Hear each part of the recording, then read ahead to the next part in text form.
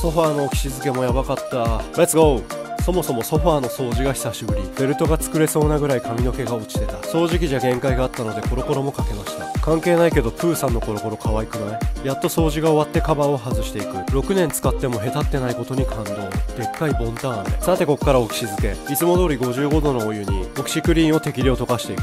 ちゃんと溶けたらソファーカバーをどんどんぶち込んでいく。しっかり浸かるように上から押さえて空気を抜く。入れた直後になんか背脂みたいなの出そのまま23時間放置してあとは普通に洗濯して乾かせば OK さすがにこれは色落ちじゃないでしょう。あとはソファーにかぶせ直せば完了。半日ぐらいかかった。汗や皮脂でペタペタしてた肌触りが回復した。色落ちもしてないし定期的にやります。